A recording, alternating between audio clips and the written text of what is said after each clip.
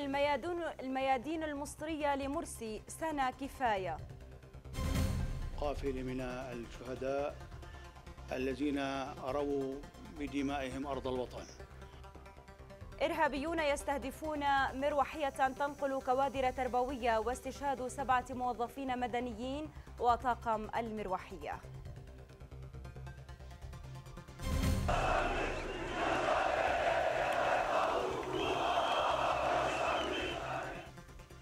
تل أبيب تصفع كري بحجارة مستوطناتها وميدان تقسيم التركي يشتعل من جديد.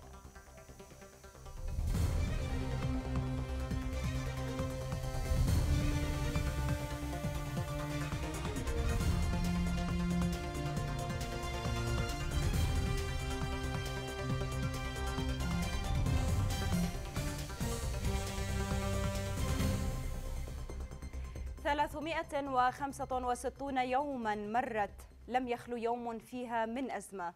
انقسام وانفلات. والنهضة تتحول لسد إثيوبي. هكذا يلخص المصريون عام رئاسة مرسي المنصرم ففي كل يوم سجلت أزمة سياسية أو اقتصادية أو أمنية عكست حالة من الصراع والتخبط ما رفع الأصوات المطالبة بإسقاط حكم المرشد والإخوان. اليوم كما أطلق عليه المصريون كان يوم الاستحقاق العظيم. اليوم امتلأت ميادين مصر بالمطالبين بإسقاطه. يا حبيبتي مصر رددها أبناء البلد في الشوارع وانقسم المشهد بين معارض ومؤيد. وقع المحظور ووقعت الاشتباكات وحدثت التفجيرات وحرقت مقرات الإخوان. ومع ارتفاع صرخة إرحل سقطت على المسامع كلمات المتحدث باسم رئاسة الجمهورية الذي خرج مغردا بحديث أجوف عن الالتزام بالديمقراطية ومجيبا بلا إقناع عن كثير من الأسئلة.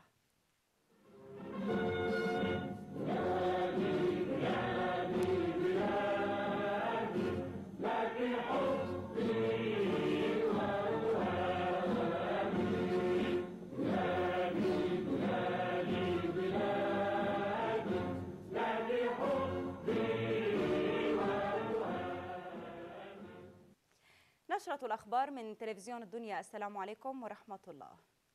منذ صباح اليوم توافد آلاف المتظاهرين من مختلف المحافظات المصرية إلى ميدان التحرير تلبية لدعوات التظاهر في هذا اليوم. وكانت حركة تمرد قد أعلنت أمس أن محمد مرسي لم يعد رئيسا لمصر بعد إحصاء 22 مليون توقيع لسحب الثقة عنه. هذا فيما أعدت المؤسسات الحكومية والبنوك والمستشفيات خطط عمل وطوارئ وانتشرت عربات مدرعة ودبابات تابعة للقوات المسلحة على مداخل ومخارج مطار القاهرة وسط توقعات بحدوث اشتباكات بين مؤيدي مرسي ومعارضيه. للمرة الثانية بعد عامين أو أكثر على إسقاط مبارك تتوجه أنظار العالم من جديد إلى ميدان التحرير في العاصمة المصرية القاهرة. فساعات قليلة تسبق ساعة الخطر للتحرك الكبير لحركة تمرد. المدعومة بتأييد شعبي كبير تجاوز سقف ال 22 مليون توقيع لسحب الثقة من مرسي وإخوانه.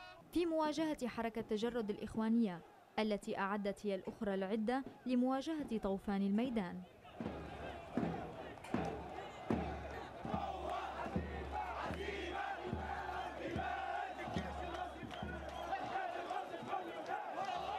اليوم وللمرة الأولى في تاريخ مصر الحديث. ستكون مصر كما يرجح كثيرون على عتبات اقتتال أهلي. بعد عام من الاحتقان الذي سيترجم في هذا اليوم الأطول في حياة المصريين الجميع أعد العدة للمواجهة بين شرعية الشارع وشرعية الكرسي. وبين هذا وذاك دعا البرادعي علانية إلى النزول إلى الشارع للمطالبة بإجراء انتخابات رئاسية مبكرة. فيما قدمت ثلاث كتل برلمانية استقالاتها تضامنا مع معارضي مرسي ما استدعى إعلان النفير العام في صفوف جماعة الإخوان المسلمين. أنا نفسي أعرف أنتوا خايفين ليه أصلا من الصندوق؟ تعالوا ده أنتوا ممكن تشكلوا أصلا حكومة والحكومة في الدستور الجديد رئيس الوزراء فيها يعادل أو يفوق رئيس الجمهورية. هو عشان منتمي للجامعه بتاعته فهو بيعمل لهم هم بس مش بيعمل لشعب مصر. الثلاثون من يونيو وضع كافة شرائح المجتمع المصري أمام تحد كبير. في ظل أعمال عنف طالت العديد من المحافظات المصرية وأسفرت عن وقوع ضحايا وإصابات حيث أحرق متظاهرون غاضبون بعد مقار حزب الحرية والعدالة في محافظتي الإسكندرية وبني سيوف. ما وضع الجيش المصري في حالة تأهب لضمان سلامة المتظاهرين بالدرجة الأولى. خصوصا مع تسريبات أفادت بطلب مرسي من وزير الدفاع المصري عبد الفتاح السيسي بعدم تحريك الجيش دون إذن كتابي منه الطلب الذي قوبل بالرفض. وبموازاة تحذير شيخ الأزهر من حرب أهلية ناشد بطريرك الأقباط الأرثوذكس والكرازة المرقسية في مصر الأنبا طوادرس الثاني مواطنيه التفكير معا والتحاور معا والصلاة من أجل مصر. الخلافات هي سيدة الموقف في كافة المؤسسات المصرية يقابلها التخندق بين طرفي المعارضة والموالاة ضد بعضهم. ما يضع مصر وحسب المراقبين على بعد ساعات قليلة من حرب أهلية متوقعة في ظل تعنت وإصرار الأطراف كافة وبدء يوم الحسم بالنسبة للمعارضة. وإصرار مرسي على أنه نتاج ثورة وديمقراطية صناديق.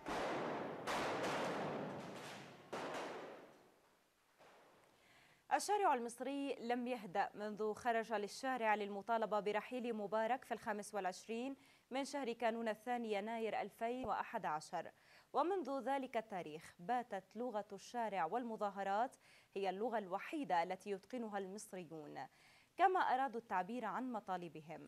وفي عهد مرسي لم يتغير الوضع بل زادت حدة التظاهرات المطالبة برحيله. بعد عام من حكمه الذي سجل فشلا ذريعا في تحقيق الأهداف التي جاءت من أجلها ثورة الخامس والعشرين من يناير. التنمية الاقتصادية وتحقيق الأمن والعدالة الاجتماعية والسيادة الوطنية ومحاسبة المفسدين هي أبسط هذه الأهداف التي لم تتحقق على يد الإخوان. رغم ذلك لا زال الإخوان يتذرعون بالشرعية الانتخابية. التي أوصلتهم إليها صناديق الاقتراع. والكل يدرك أن هذه الصناديق بالنسبة لهم ليست سوى حصان طروادة كي يتسللوا إلى مفاصل السلطة في الدولة. وما إن حازوا على تلك السلطة سقطت الأقنعة عن وجوههم. عام واحد فقط وآلت مصر إلى ما آلت إليه. كوارث وأزمات ليس لها بداية من نهاية وأعظمها انقسام الشعب المصري. ولم يكتفي زعيم الإخوان بتفكيك مصر بل أطلق دعوات طائفية خلال رعايته لما يسمى مؤتمر نصرة سوريا وذلك بسبب فشله داخليا إذ يلجأ السياسي المخنوق داخليا إلى افتعال حروب وعداوات في الخارج متناسيا القضية الأهم وهي سد النهضة في إثيوبيا. إخوان مصر يشعرون أن الخناق يزداد قسوة عليهم أكثر من أي وقت مضى مع استمرار التخبط في القرارات والتراجع في الاقتصاد وانكشاف خطط الهيمنة على حراك المجتمع ومفاصل الدولة. الشارع المصري أدرك مناورات جماعة الإخوان ولهذا جاءت الردود قاسية. فالإخوان تطاولوا على مصر بأن اختزلوها كلها في جماعتهم لذا أراد الشعب المصري أن يقف ليوجه كلمة لمرسي وجماعته أن مصر أولاً.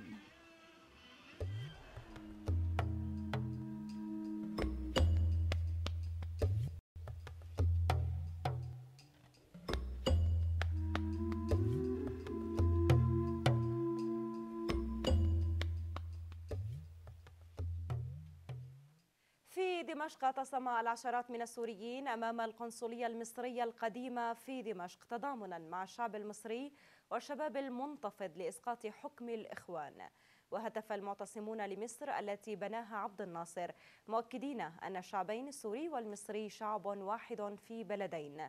ولن تفرق بينهما قرارات الإخوان وسياساتهم التي أسفرت مؤخرا عن قطع العلاقات مع سوريا ورفع علم الانتداب الفرنسي فوق السفارة السورية في القاهرة. من دمشق العروبة هنا القاهرة شعب واحد في بلدين وقومية موحدة ضد الإخوان ومصر التي بناها عبد الناصر لا يستطيع تخريبها مرسي الإخوان. لافتات رفعها السوريون الذين احتشدوا أمام القنصلية المصرية القديمة في دمشق معلنين تضامنهم مع الشعب المصري. في ثورته لإسقاط حكم الإخوان برئاسة سي مرسي. نحن اليوم وقفتنا تضامنية مع الشعب المصري بعد حكم عام من حكم المرشد من حكم مرسي. يعني آه، مرسي رجع مصر إلى عصور الجاهلية الأولى. مصر بحكمه عام لمصر اليوم رجع مصر إلى صفر سياحة إلى صفر أمن قومي. أنا بقول إني مع الشعب المصري وهي اخر يوم 30 الشهر لمرسي وحكم الإخوان ونحن ما نحن ضد هالمؤامرة اللي اللي عملوها الأمريكان والغرب والعرب الأعراب اللي تآمروا على سوريا ومصر والشعب العربي. الشباب السوري هتف ضد مرسي الذي وبعد عام على توليه الحكم في مصر لم يقدم أي شيء بل زاد من مأساة الشعب المصري وعبر عن عمالاته وخيانته وتبعيته. من خلال قطع العلاقات السورية المصرية والإبقاء على العلم الصهيوني يرفرف على السفارة الإسرائيلية في القاهرة. شيء طبيعي واحد مثل مرسي عميل لاسرائيل وعميل لأمريكا أنه يغلق سفارة سوريا ويقطع علاقاته مع الجمهورية السورية. آه، بس بالنسبة لوجودنا هون نحن جايين نتضامن مع الشعب المصري بوقفته ضد الإخوان ضد مصر آه، الإخوانجية اللي بده يعملها مرسي. لن ننسى اليوم ماذا يحدث في مصر. مصر اليوم تقف وقفة الأبات ضد مرسي العميل الخاين المتآمر مع الخونة المتآمرين العرب ومع الصهيون ومع المساة الإسرائيلي. حاجة يا مرسي متمسك بالكرسي. الشعب المصري نازل بقيمته يعني ما بده إياك ارحل طبق الديمقراطية وارحل. حاجة يعني. هي وقفة تضامنية مع شعب مصري عانى الظلم بسبب المخطط الغربي لتدمير المنطقة بأكملها من خلال إدخال ثقافة الإخوان. وانتفض ثائرا في هذا اليوم الثلاثين من حزيران الذي قد يحدد مصير مصر للفترة المقبلة إما إسقاط حكم الإخوان وإما مصر إلى مزيد من الفوضى.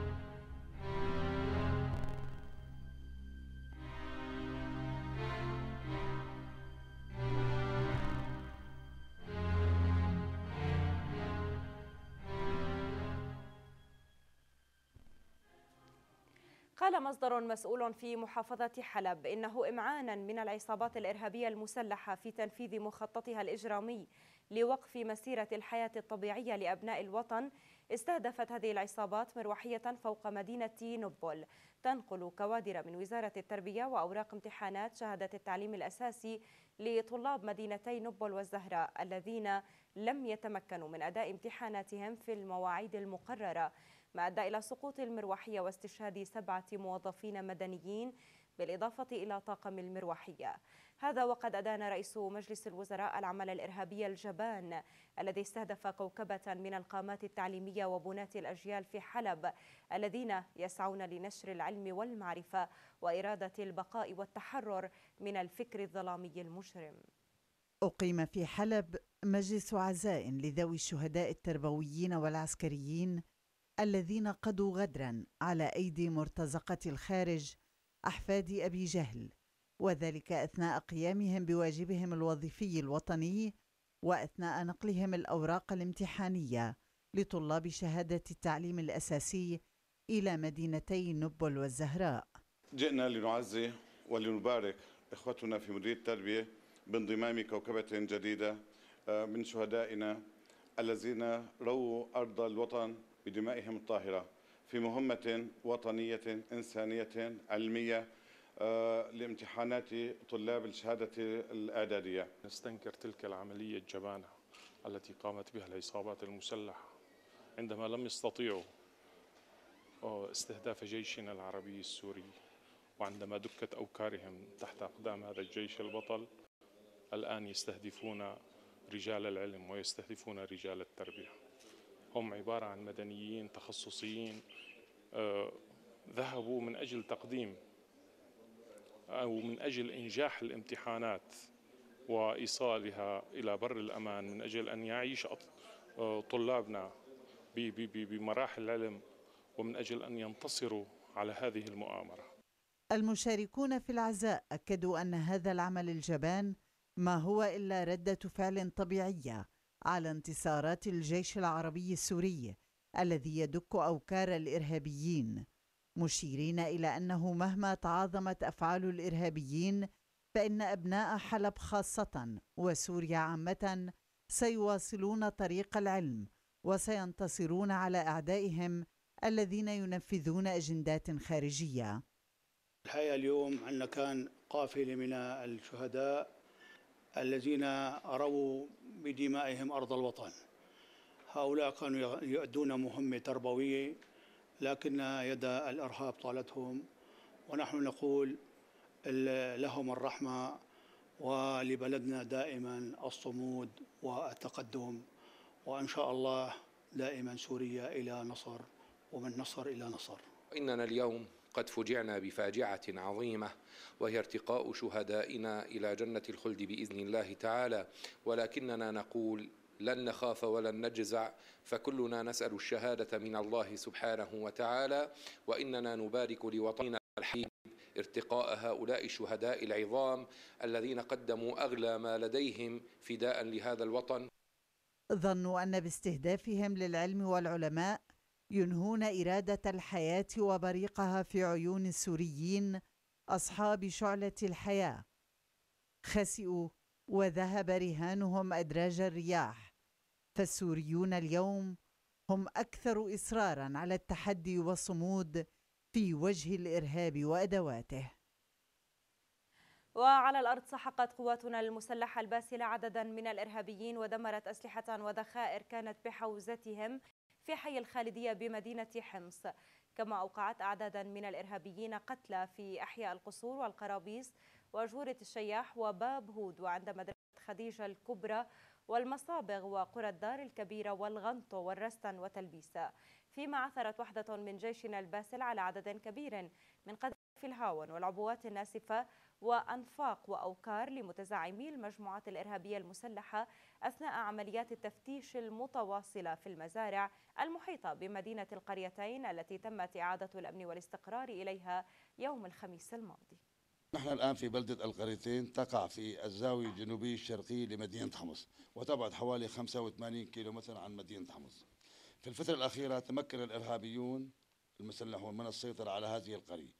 كون هذه البلدة في موقع الاستراتيجي آه، يسهل عمليات عبور الإرهابيين المسلحين من المنطقة الشرقية اللي هي تدمر آه، المنطقة الشرقية دير الزور الرقة القامشلي باتجاه مدينة دمشق.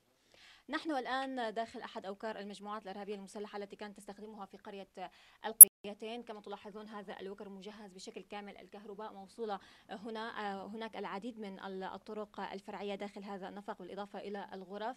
يربط عدد كبير من الطرق من الحارات والممرات هذا النفق. أيضا يعني ما وجد هنا كتائب الفاروق. هذا مقر إقامة لهذه المجموعات الإرهابية المسلحة. يعني تم القضاء على كامل أفراد المجموعة التي تنتمي إلى هذه الكتائب. على أيادي أبطال الجيش العربي السوري داخل هذا النفق.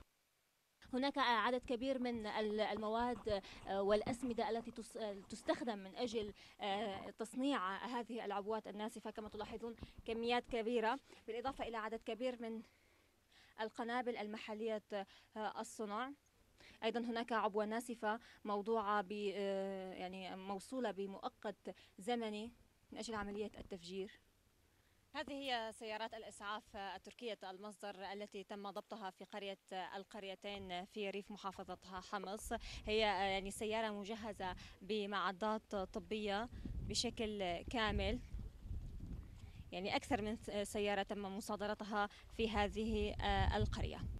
هذه أيضا إحدى سيارات الإسعاف المسروقة آه، من آه، يعني المشافي الحكومية. أيضا تم ضبطها هنا بالإضافة إلى بعض السيارات التي كانت هذه المجموعات تركب عليها رشاش دوشكا. أيضا تمت مصادرتها في قرية القريتين. مهما فعلت المجموعات الإرهابية المسلحة إلا أن قرية القريتين بدأت تدريجيا تعود إلى حياتها الطبيعية. كما لاحظتم بالصوت والصورة كيف بدأت الأهالي تشعر بالأمان وأنها يعني منتشرة في حارات هذه القرية. نحن الآن في دير مار اليان الشرقي في هذه القرية. هو في منتصف قرية القريتين. هذا الدير يحوي الآن يعني أبطال الجيش العربي السوري الذي يعني أهالي هذه القرية دعوهم إلى هنا بالإضافة إلى بعض بعض الحملات الشعبية التي أتت من محافظة حمص ليؤكدون على الوحدة الوطنية وليؤكدون أنهم أبطال الجيش العربي السوري.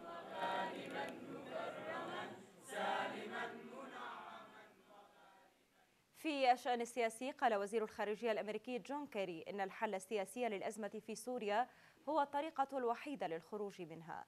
وأضاف كيري خلال مؤتمر صحفي في ختام زيارته للأراضي الفلسطينية المحتلة أنه يتطلع إلى محادثاته مع وزير الخارجية الروسي سيرجي لافروف لأن الوضع في سوريا خطير وجزء منها سيكون حول كيفية زيادة جهودنا ليكون لنا تأثير على الأحداث. لكنه أضاف قائلا لن أدخل الآن في التفاصيل. كيري أكد أن مفهوم الحل السلمي على الرغم مما يحصل في سوريا هو الطريقة الوحيدة لإنقاذها وليس هناك حل عسكري للأزمة هناك. تأتي تصريحات كيري الجديدة حول الحل السياسي في وقت أعلنت فيه الإدارة الأمريكية عن تقديم مساعدات عسكرية إلى المجموعات الإرهابية في سوريا بما يظهر التناقض في خطابها فكيف يمكن العمل على إنجاز حل سياسي سلمي من خلال تقديم السلاح إلى مجموعات إرهابية؟ في سياق موازن أكد وزير الخارجية الإيراني علي أكبر صالح خلال لقائه أمير قطر الجديد تميم بن حمد آل ثاني. أكد ضرورة الحفاظ على السيادة الوطنية ووحدة الأراضي السورية لتوفير الظروف المناسبة للخروج من الأزمة الراهنة والتحرك في مسار الحوار السياسي السوري السوري. وشرح صالحي الذي يزور قطر حاليا على رأس وفد سياسي السياسة المبدئية لإيران بشأن سوريا وأهمية إرساء الأمن والاستقرار في منطقة الخليج مؤكدا ضرورة الارتقاء بمستوى التعاون بين بلدان المنطقة.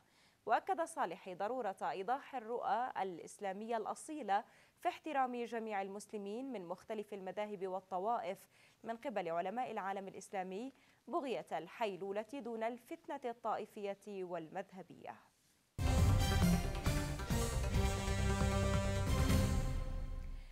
أكد رئيس مجلس الشعب السوري محمد جهاد اللحام دور البرلمانيين حول العالم في دعم جهود نشر السلام ومحاربة الإرهاب وضرورة عمل الجمعيات البرلمانية بحيادية وموضوعية وعدم انسياقها وراء الأجندات السياسية للدول التي تحركها مصالح خاصة لا تصب في مصلحة شعوب العالم.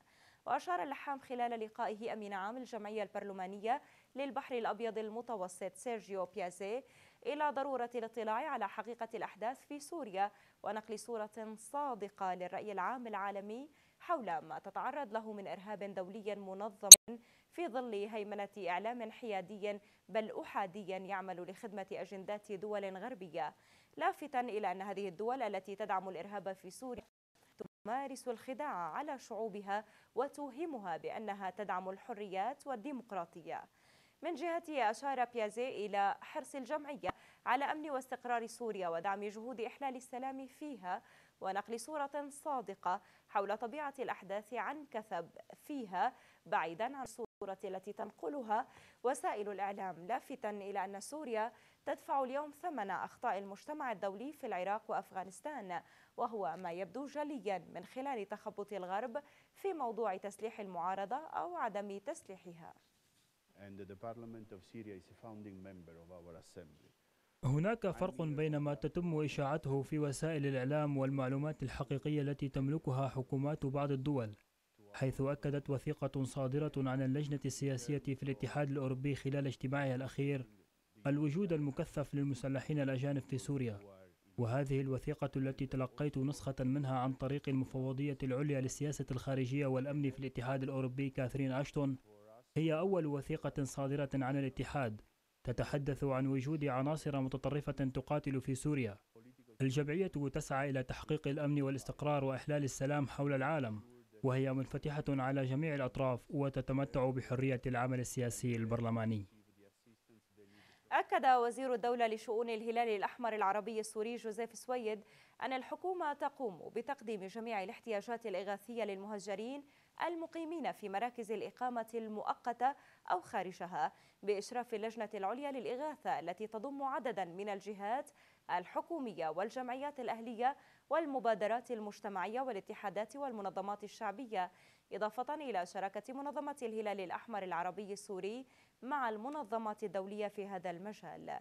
ولفت الوزير سويد خلال لقائه الأمين العام للجمعية البرلمانية للبحر الأبيض المتوسط سيرجيو بيازي إلى أن منظمة الهلال الأحمر تقوم بتوزيع المساعدات الإغاثية سواء الحكومية أم القادمة من منظمات دولية بطريقة حيادية وعادلة إضافة إلى القيام بدور كبير في تسهيل عودة المهجرين المقيمين خارج سوريا.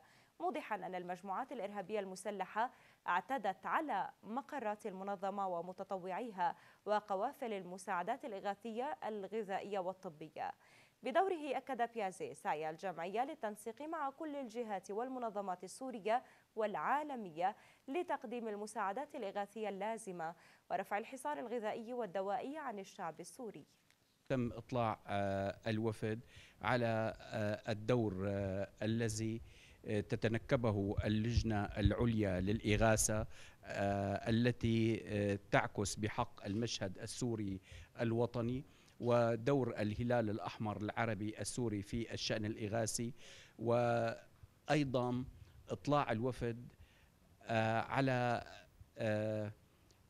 الاستهدافات الإرهابية التي استهدفت عمل الهلال الأحمر العربي السوري. الحكومة كما أشرت تتحمل واجباتها رغم ضغط هذا الملف. تتحمل واجباتها بامتياز وهي في حالة جاهزية كاملة وفي جميع الأوقات لتلبية كل ما يلزم من احتياجات حياتية للإخوة المواطنين المتضررين للمهجرين الذين هجروا بفعل العصابات الإرهابية المسلحة. ناقشت وزيرة السياحة هالة الناصر خلال الاجتماع الأول للمجلس العالي للحرف التقليدية كيفية دعم الحرف والحرفيين خاصة في ظل الأزمة التي أثرت بشكل كبير على الحرفيين نظرا لكون السياح يشكلون المستهلك الرئيسي لمنتجاتنا التقليدية.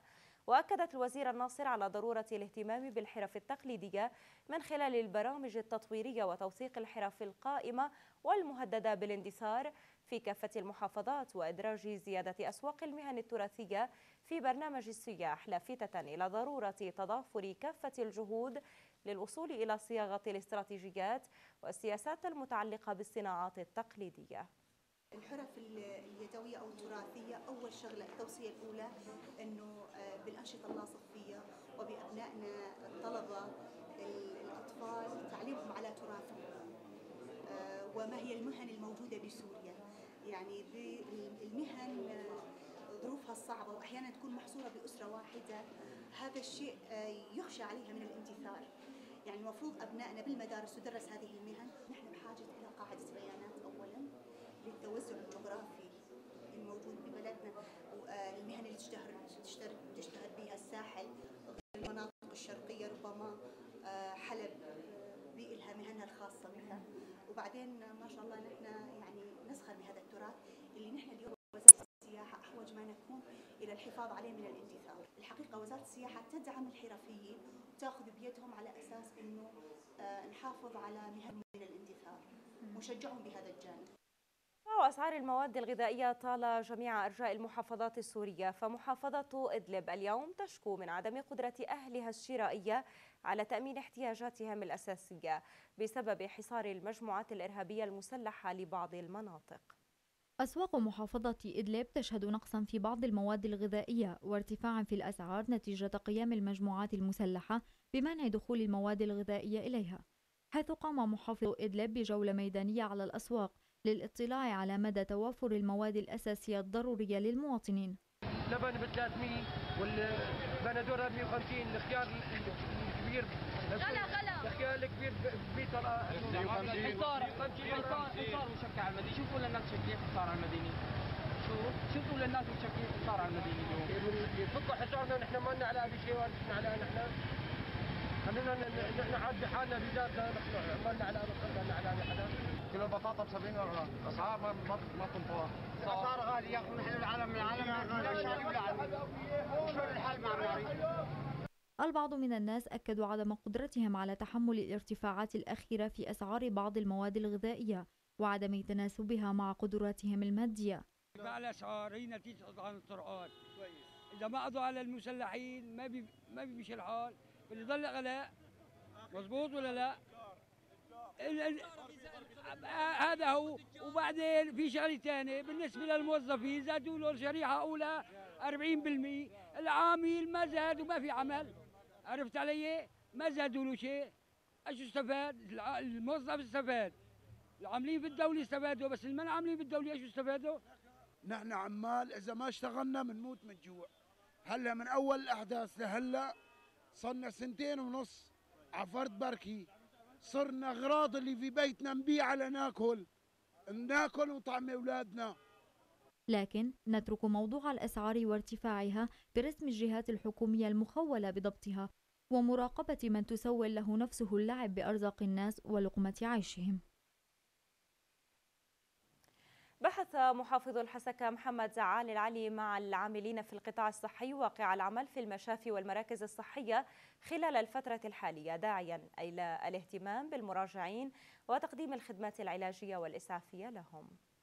في إطار تقديم أفضل الخدمات الطبية للمواطنين وتوفير الدواء اللازم في المشافي بحث محافظ الحسكة مع المعنيين في قطاع الصحة الواقع الصحي في المحافظة والصعوبات التي يعاني منها. بالرغم من الظروف الصعبة اللي نحن نمر فيها لكن ما يقدم من خدمات في القطاع العام في مراكز المراكز الصحية وفي المشافي فهي خدمات جيدة ومقبولة. وطالب المجتمعون بضرورة القيام بجولات ميدانية على الأرياف وقمع ظاهرة زيادة تسعير الدواء من قبل مستودعات الأدوية والصيادلة بحجة ارتفاع أسعار النقل. آه، طبعا ال- الواقع الصحي يعني آه، في الحسكة نستطيع أن نقول أنه جيد من خلال مواصلة آه، المؤسسات الصحية الهامة في المحافظة عملها بشكل عادي وجيد. ونحن آه، من خلال الأرقام يعني نستوضح أنه من خلال آه، في ال- الخمسة أشهر الأولى من العام آه، المشافي العامة لدينا في المحافظة قدمت 600 ألف خدمة صحية إضافة إلى أن المراكز الصحية لدينا واصلت عملها رغم هذه الظروف الصعبة حيث أنه راجع المراكز الصحية منذ بداية العام حوالي آه، 300 ألف مراجع. واقع الدواء متوفر متوفر وخاصة في شهر حزيران نوعا ما. ولكن آه، ال- دور النقابة هو الرقابة على المستودعات والمخالفات المادية. ولكن نريد جهة تنفيذية وبشكل جدي مراقبة هذا الأمر م- من أجل تأمين الدواء وإيصاله إلى المواطن آه، بشكل جيد. بالنسبة لوضع العمل ضمن مؤسسة التجارة الخارجية فرع الحزكة نحن تقريبا القسم الأعظم من الأدوية اللي تتعامل فيها المؤسسة حاليا ردنا بشكل جيد وما عدا مادة السيروم. مادة السيروم نعاني من وصالها للمحافظة رغم توفرها في بعض المعامل الخاصة في دمشق. آه، والح- حاليا المؤسسة بحثت عن مصادر إضافية ووقعت عقود وإن شاء الله قريبا ترد المادة. على الرغم من كل الظروف التي تمر فيها سوريا إلا أن القطاع الصحي يصنف من القطاعات الخدمية التي لا تزال تقدم خدماتها بشكل جيد وتجاوز كل العقبات والصعوبات التي تتعرض لها من تخريب من قبل المجموعات الإرهابية المسلحة.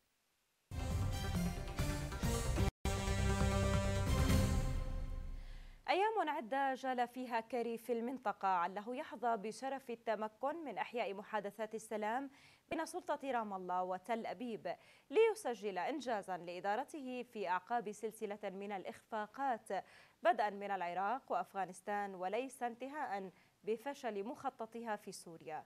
محاولات قابلها السيد الإسرائيلي بصفعة لامست خد كاري بحجارة مشاريع الاستيطان الجديدة. صفعات متتالية يوجهها قادة الكيان الصهيوني لمبعوث إدارة أوباما جون كيري الذي يلهث وراء سراب يسمى مفاوضات إسرائيلية فلسطينية. صفعات يوجهها كيري بدوره إلى وجه سلطة رام الله علها ترضى بأقل القليل كي يسجل موقفا أو نجاحا لكيري ربما لن يحصل عليه في الوقت الراهن خاصة في ظل فشل إدارته على محور آخر. قد يكون في سوريا أحد محطاته.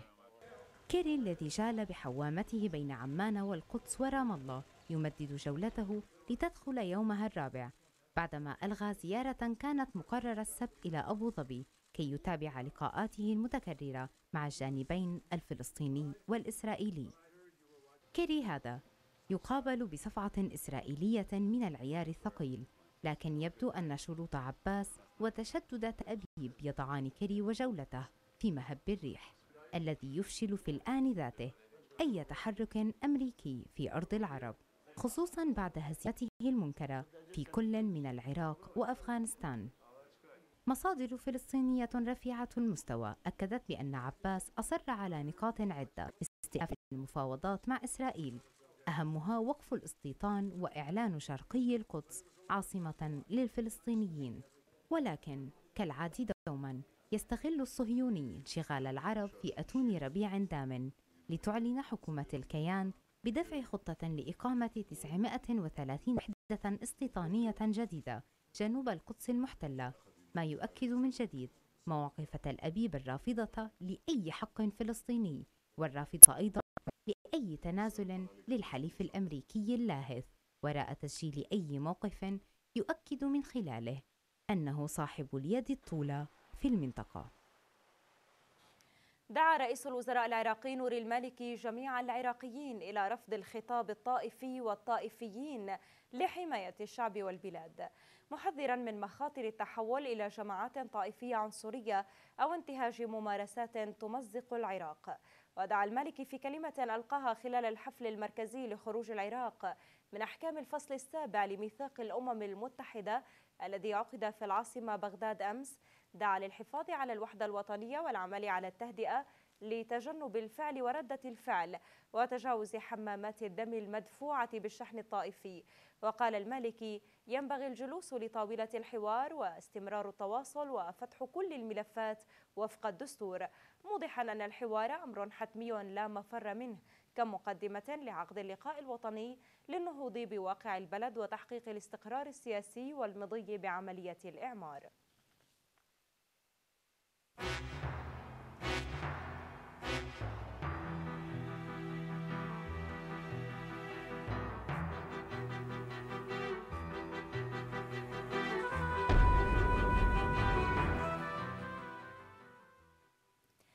واجه متظاهرو ميدان تقسيم في قلب اسطنبول طيلة ساعتين طوقا أمنيا كبيرا أقامته شرطة مكافحة الشغب التي أقفلت طريق الوصول إلى وسط الساحة مرددين شعارات مثل استقالة الحكومة وضد الفاشية كلنا معا وندد المتظاهرون أيضا بتدخل الجيش ضد مئات الأشخاص الذين كانوا يحتجون على توسيع معسكر في ليس جنوب شرق تركيا حيث الغالبية من الأكراد ما أسفر عن سقوط قتيل وعدد من الجرحى.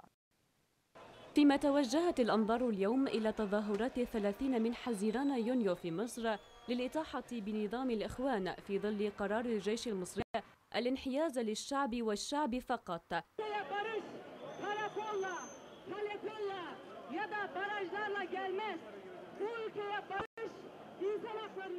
تبقى ميادين تركيا مستمرة تظاهراتها على قدم وساق. وسط قمع ممنهج لقوى الأمن التركية. قد يكون التوتر الناتج عقب حادثة مقتل متظاهر في منطقة ديار بكر جنوب شرق تركيا على أيدي الجيش التركي. قد شكل تطورا هاما على صعيد توجه المؤسسة العسكرية إلى التحرك نحو مسرح الأحداث التركية. وخاصة بعدما أفادت مصادر إعلامية عن تقدم حكومة العدالة والتنمية قبل أيام بمشروع قانون جديد. إلى البرلمان يهدف إلى تعديل بعض مواد النظام الداخلي للجيش التركية الصيغة الجديدة وإن أقرها البرلمان ستمنح الجيش صلاحيات الدفاع عن تركيا ضد المخاطر الخارجية فقط وبتعليمات من البرلمان إضافة إلى منع أفراد الجيش من أي نشاط سياسي مباشر أو غير مباشر مهما كان شكله. تطورات الحدث التركي الأخير انعكست غضبا واحتقانا متزايدا على سياسة أردوغان التسلطية والقمعية ليشكل الطوق الأمني الذي أقامته شرطة مكافحة الشغب حول ساحة تقسيم إحدى أشكاله وذلك لمنع آلاف المتظاهرين من الوصول إلى وسط الساحة التي احتشدت وتوجهت نحوها عشرات الآلاف من الأتراك المناهضين لأردوغان وسياسته في عثمنة الدولة التركية. التظاهرات جاءت تلبية لدعوة حركة تضامن تقسيم. رفعت فيها شعارات تندد بالحكومة التركية ورئيسها. وفي هتافات المحتجين ما يشابه هتافات آخرين في ساعات الليل التركية ضد حملة القمع التي مارستها الشرطة قبل أسابيع ضد المتظاهرين لترد الشرطة بمزيد من حملات الاعتقال بحق العشرات. عشر سنوات كانت كفيلة بتشكيل رأي عام تركي حول مشاريع أردوغان وحزبه في نسف الدولة العلمانية. مراقبون رأوا من مسار التظاهرات في تركيا وظهور عامل الجيش على خط الاحتجاجات ما يأخذ بالوضع نحو مزيد من التأزم والتصعيد. وربما نحو إسقاط إخوان تركيا في الثالث عشر من آذار القادم. موعد استلام أردوغان رئاسة الحكومة عله يكون ربيعا حقيقيا بالحراك المتواصل والتوقيت الدقيق لكلمة ربيع. مباشرة الآن إلى عناوين هذه النشرة.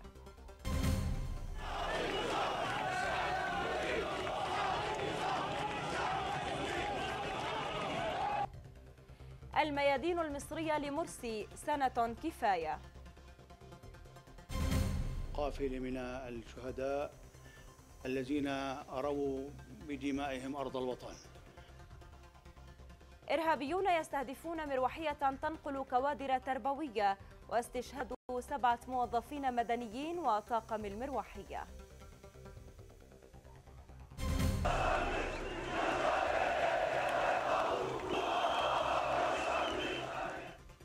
تل أبيب تصفع كري بحجارة مستوطناتها وميدان تقسيم التركي يشتعل من جديد.